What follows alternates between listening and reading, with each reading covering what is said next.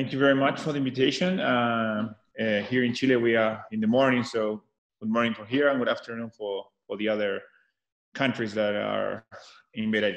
So uh, today I will speak for a, like for um, for a case that we had like two years ago. That is a three grade lumbar sacral uh, uh, spondylolisthesis aggravated to four after a trauma. It's not a, a, a normal case. It's not a it's not a a case that we use to see every day. So it's an interesting case. So that's the idea for the for the case. So thank you very much for for hearing me and the invitation. So uh, in the literature, we have five type of spondylolisthesis: the dysplastic, the isthmic, the degenerative, the traumatic, and the pathologic spondylolisthesis. This is a mix between a degenerative and a traumatic uh, uh, spondylolisthesis report.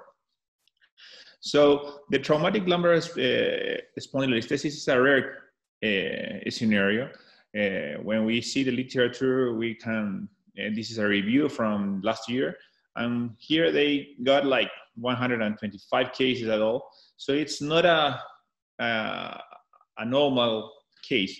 So the media cases are uh, young people that are all most of the cases are vehicle accidents. But in this case, we have a special patient that it's a 25, 22 years old male that used to train soccer by a professional as a professional player here in Chile. The professional Chile uh, players, it's only the, the, the, the Serie A have a good income, so most of the players have to work in another thing here. So he also was working like a laborer. He suffered an accident while he was cleaning a concrete machine. Okay, another uh, worker, a, a, a partner, uh, turned on the machine when he was cleaning on top. So he he was trapped uh, between the wall and the the the concrete machine. So he had a very high energy uh, trauma uh, when he was trapped.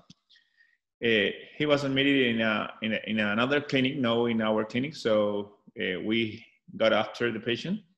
He complained of axial pain without irradiation to lower, lower lines. And he didn't have a neurologic impairment. So he was only back pain. This is a, the, the x-ray of the admission. We can see that uh, patient had a high grade uh, pelvic incidence and he, here we can see that he has a spondylolisthesis, grade three, as 60% of, of displacement of L5S1. Here we can see that uh, uh, he was, uh, what here we can see the, the listhesis, but also we can see that he was a isthmic, uh, uh, isthmic uh, uh, listhesis, which are listhesis between, so before that. So it's a mix. It, I insist that this patient has admitted in another place before he went he get to, to us. This is the CT, the, the MRI that we can see the the the lesion of the ligaments in the back in the part in the back part.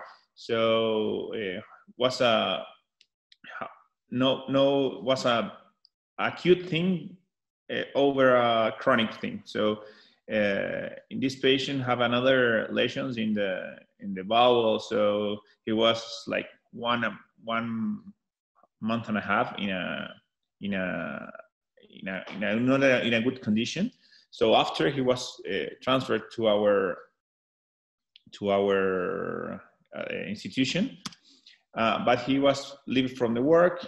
He, they give uh, gave uh, painkillers and a lumbar uh, brace until he was transferred to our hospital.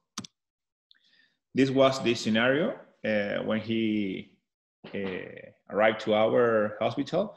Two months follow up. The listhesis, if you can see, was progressed. Uh, have a lot of pain, back pain, but no neurological problems. So here you can see that uh, pelvic parameters all have a high grade 85 um, uh, pelvic incidence, lumbar lordosis was 60, 64.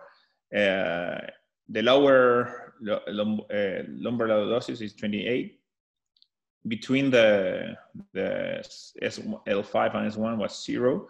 Uh, the um, lumbar sacral angle was 78 and uh, the sleeping angle was uh, 18. So here we uh, have uh, some questions uh, when, when the patient arrives and we always have to ask if we have to get a surgery or not. In this case, in scenario, it's difficult to say that you don't have a surgery. So the second question is where are we going to go to the approach? Uh, you can do it by posterior or, or anterior or combined.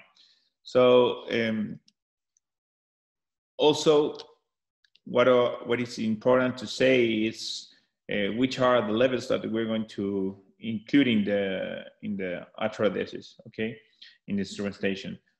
Can be L5 S1, L4 S1, or L4 ilium. So it's it's really important to think what you're going to do be, before you got into the OR.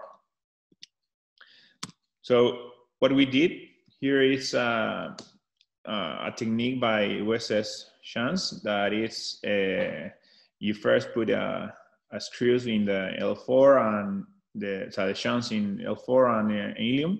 You make a distraction.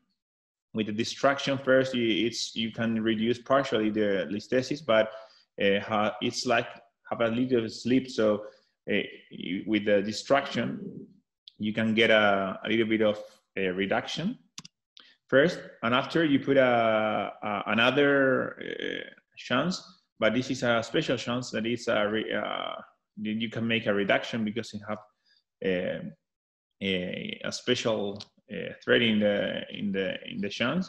So with that uh, uh, element, you can make the reduction of the listhesis, and after you put a, a, and also you have to put a S1 uh, Schanz. And after you take it away the, the ilium uh, Schanz, and at least you can correct at least uh, before the problem of the trauma. So the, the idea is to make a distraction and after a reduce uh, maneuver by the reduction uh, Schanz, okay? After, uh, when we have a, the patient, and when it's reduced, uh, we put bone graft in the, uh, in the disc space of L, L, L5 S1 by a local by the local arc that is we, we took we took before the all the all the the maneuvers. We took the posterior arc of five and also we took uh, bone graft the, of, from the ilium crest. So here you can see the, the correction that is it's not perfect, but we can we we correct the the, the local kyphosis and also the the, re, the we reduct uh, partially the the listhesis.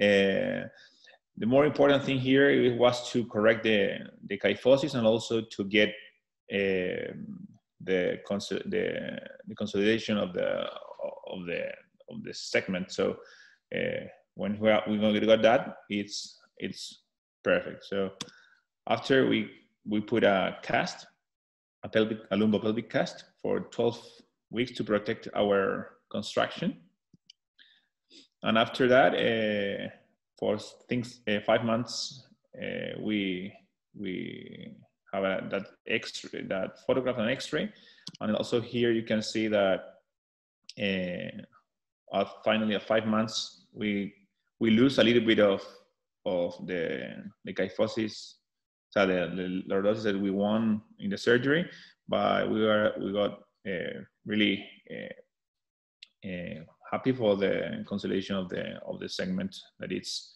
it's ready, and we we without the ilium uh, uh in, uh, including in the in the fixation, we are happy. So uh, it's a high grade uh, listhesis by the trauma for the for this patient.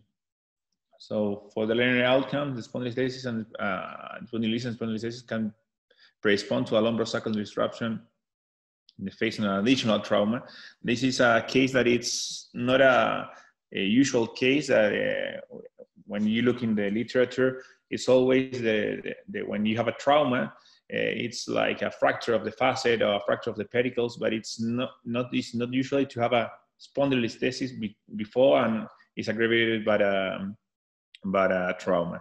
Biomechanical studies suggest that compression and extension as a biomechanical oscillation, and the posterior approach using Schanz and rods are an efficient tool to reduce the service, the consolidation, avoiding the, uh, the anterior approach complications. In this case, because when you have a, a trauma addition, uh, uh, when patient have a, a bowel problems, uh, have a, another uh, issues in the, in the anterior approach, uh, is an efficient and secure way to, to treat it. So that, thank you very much.